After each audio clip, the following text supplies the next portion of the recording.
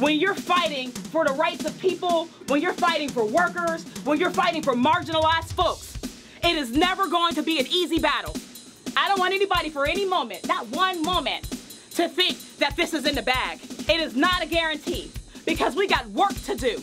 The thing that we know is that the power of the people is always greater than the people in power. When we fight, we win. When we vote, we win.